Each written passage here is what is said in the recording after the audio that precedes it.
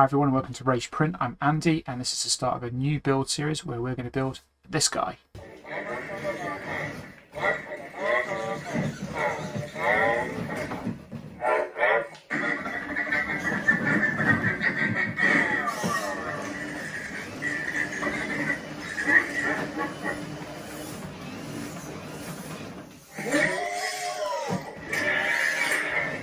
We're going to be using the Marvelous Mr. Baddeley files, so it'll be a fully 3D printed chopper. And we're going to follow Mike's instructions. So we're going to build a video build log on this. By the end of it, we'll have a nice working chopper. I have spent the last month or two printing out all the parts, and I have a nice big pile of parts right behind me. And we're going to go over preparation, uh, gluing them together, sanding, printing, all the usual stuff. Um, I'll also briefly go over in a minute uh, the print settings that I used. Um, I'm not going to show you the printing because we've all seen time-lapse printing. You don't need to see it again. Uh, I printed both all these parts on two artillery Sidewinder X1s using a combination of Sunlu PLA Plus, uh, Ice Filaments PLA Pro, and as you can see on the currently that's on the printer behind me, 3D Tomorrow PLA Pro because that's the only one I can get hold of at the moment. So why don't you join us as we start to build Chopper. Okay, so I'm just going to quickly run through the print settings I used to do Chopper. As you can see I'm using an Artillery Sidewinder X1 and this is one of the first pieces you'll probably print out which is the bottom of chopper's body. So this is where the dome connect, uh, sorry, the skirt connects and this is the start of the build of the body itself. Just swing around. And I think this is where some of the is attached. I, can't tell, I'm actually looking at the, the whole thing at the moment. As you can see here, Mike's put some jigsaw pieces in and numbered them as well, so you know which way to go. And generally, Mike goes. Can't quite see that now with the shine, but generally, Mike goes clockwise. So two will go there, and then three, four, five, six, seven, eight. Swing back around. So start off, so I've, I've, saved this and used it many times throughout printed chopper. Doing a 0.2 mil layer height and standard line width for a 3D for a uh, normal printer. So it's got to be strong, so we're doing four walls, four top and bottom layers. I'm doing lines as the, the pattern, but you, you could equally do zigzags. I yeah, want to do concentric um, hiding the seam where possible, and only doing 15% infill. That's all this really needs because once the bulk of it's put together, that generates the strength. And I'm using triangle infill pattern. Uh, this is just the temperatures I need to print out at the time. And that's my general printing temperature for the PLA Plus that I use, PLA Pro, depending which one I can get hold of. Only printing at 50 milliseconds. What else? We've got retractions on, obviously. So, most of Mike's prints now don't need support. He's designed them so there's very few pieces that actually need support, and on his instructions, he does specify which ones do. In the case of Chopper, so far the only ones I come across are the one piece of the front caster need the support. Everything else can just print as it as as the file dumps it on the on the print bed for you. Um, depending on the piece, I haven't used print bed adhesion. These are big enough that you could get away with it with small enough uh, corners and returns to break up the lines. Uh, but generally, I would stick a brim on. You know, with only five lines around it, just enough to give it enough of a stick. So I'm not I didn't do anything funny like adaptive layers because I found that a lot of the time it's not needed and it just slowed down the print for not really much gain. So we'll slice this one.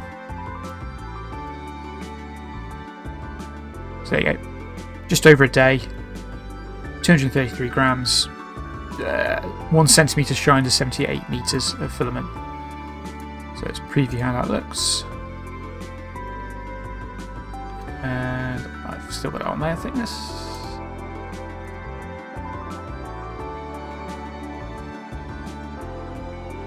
Which doesn't matter. So you can just about see here. There's the brim. You could go wider if you wanted, but as I said, for these pieces, I didn't really find it necessary. It's for the smaller pieces or the, the very long pieces like the, the front doors uh, for the bodies. Um, these big blocky pieces, I didn't need the didn't need the brim. Let's turn it back off. So without the brim, it's going to save about 10 minutes. Not even 10 minutes. So there you go.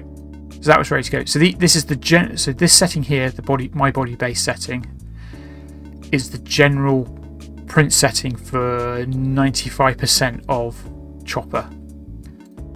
So I will clear the build plate and I will swap to the other one, which is the. Oops, pick the right one. Go. So this is the high stress one. So let me load in something.